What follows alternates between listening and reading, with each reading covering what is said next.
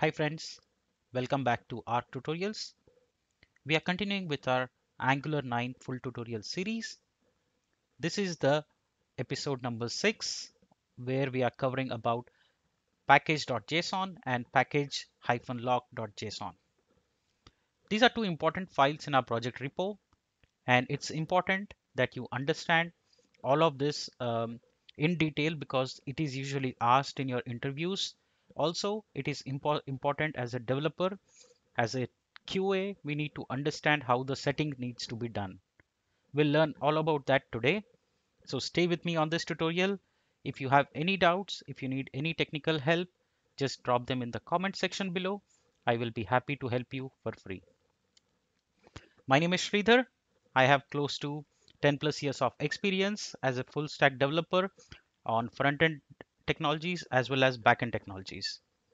I'm here to share my knowledge with you and also to learn from you all. All right, uh, so we are covering this entire series where we are doing a building a project called one conversion and which will be used to convert different types of parameters. We will learn all about that during the course of these tutorials. If you have any doubt, feel free to ask me in the comment section. I will be happy to help you. Also, just a recap. So in this series so far, we have covered five episodes where we have learned different things right from starting from Angular introduction to upgrading to Angular 9 to installing Angular CLI, running our first app. We have also learned to install Bootstrap framework in our application. We have learned about the folder structure and booting process in the last episode. In this episode, we are going to learn and understand about package.json and package-lock.json. Let's get started. So like I said, uh, it's these are two important files which talk about the dependencies and what modules are required and what versioning. So pay attention to this because these are very, very important from configuration point of view. Let's get started with our application. All right, so I have my application here, one conversion. We see that I'm going to open a terminal. Uh, nothing fancy here. Uh, we haven't started really developing the components, the services, modules, which we are going to start from next episode. This episode, in the last episode, if you see, we have taken some notes in understanding the default uh, folder structure, the booting process. We understood, we explained each and everything in detail about each folder, each of its components and everything. So if you have missed episode number five, I, I suggest you please go ahead and check that tutorial. Today's tutorial, we are focusing, we mentioned here that we will learn about package.json and package-lock.json. So we are going to learn that here in package.json and package-lock.json. All right, so let's get started. So when you create a new project directory, you would see that there is a there are two important files. One is package.json, one is package-lock.json. Let's first see the package.json. When you click on it, the first thing you see is the name of your project. And this is the one that you can give while generating uh, the Angular CLI project. So this is the same project name that you would have given while generating the project. You can give any name you want here, doesn't matter. Again, when you are working on a large applications, you would see that you have to maintain the versioning of it, the releases of it. So you for with each release, you can use something like this, one, two, depends upon which version you're working on basically. Now coming to scripts. So these are the default scripts that you are provided, right? So we will use ng to start the ng command. To start, we will use ng serve. To build, we'll use ng build. To test, we'll write ng test. To lint, we'll write ng lint. And e2e for ng e2e. So these are your npm commands, right? So these are your npm commands that we will run. So if you want to see an example of it, you can just say uh, npm run start. So let's quickly show you that. So when you want to run these commands, you will write npm run start. Oh, sorry, you have to be inside the uh, package. So I'm going into one version npm run start. So you see now I have developed the I have run the command npm run start and internally it is running ngserve because that's the command that we have configured right? So these are the commands that we have to give and it will start running. These are very important from build pipeline perspective. So you will have your script commands. You will have scripts commands which are very useful in your build pipelines where you configure your build pipelines. So that's very, very important um, and very, very critical. You can update them also. Uh, you can also say if you want, let's say now it has compiled successfully. Let's cancel this. Now let's say I want to customize and add a new command. We can do that. Let's say you want to start something with developer, right? So you can say ng developer.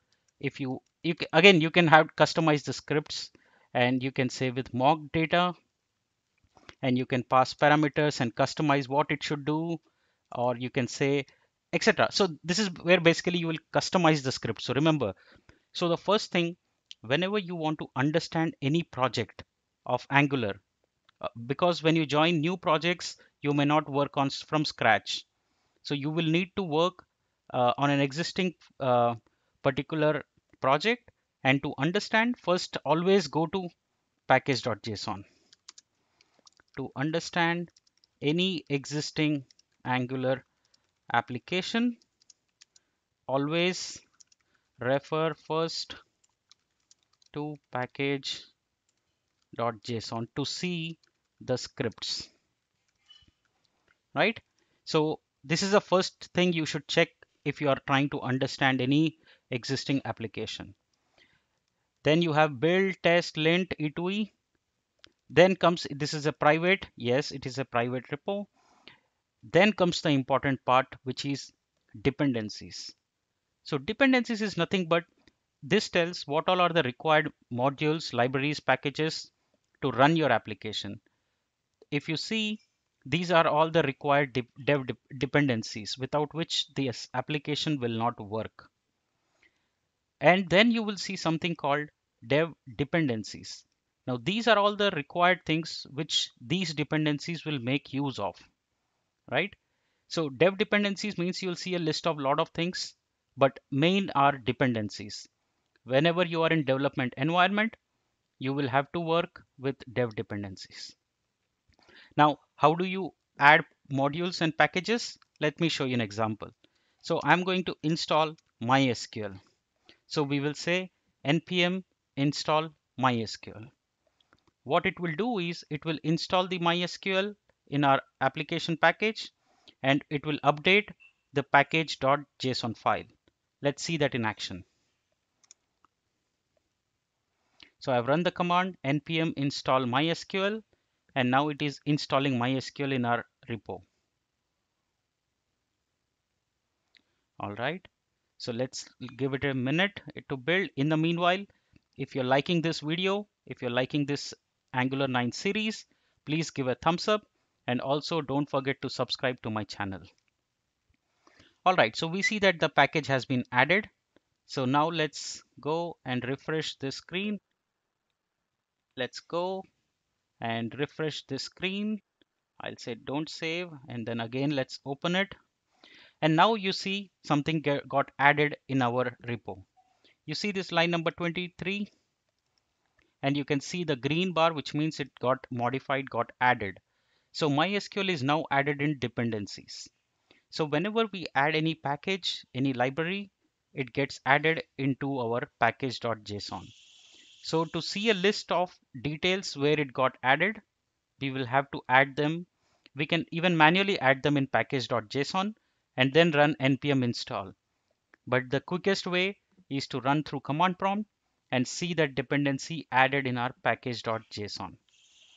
So now we added MySQL and it has installed it it has got it updated in our package.json now this is how uh, any uh, all of it uh, all the different modules that you want in your application you will add them in package.json file now let's talk a little bit about the package hyphen lock.json so if you see here again this has its name it has the version name and it is lock file version 1 and then we have requires true and then the dependencies.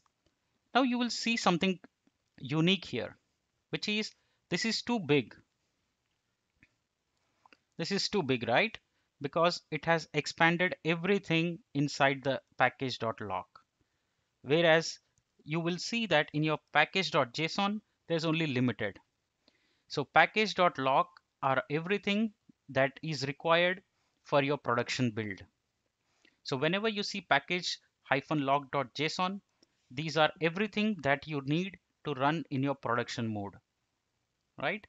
And it's it says where to fetch the file from and everything. So these are all the uh, this is a production uh, I would say ready file which without which your application will not work you will not see a lot of things, but this will also have all the interdependencies that requires Angular. Like for this example, right? If you see this Angular CLI requires lot of things here. If you see minimist, FS extra, dependency, and lot of things. So which means it will list down all the dependencies that this particular package you have listed. Now this is listed in your package.json. If you see, you will have all of these which are required, you see. And now this has internal dependencies which are resolved in package.lock.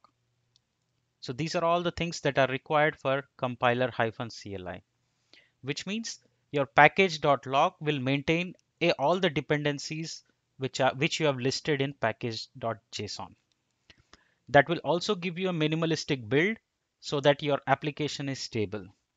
So this is very, very important uh, for to understand from your application perspective because whenever you install anything, it will have its own dev dependencies. It will have some more dependencies internally. This is where it gets resolved. And if you want to see and upgrade your versions of your packages, you can do it here. Now let's understand that little bit more. If you see clearly here it says Angular 9.1.6, right?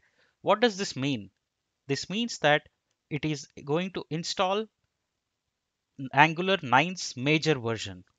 So this is means the first number means it's a major version. One means it's a minor version. And then six means it's a patch.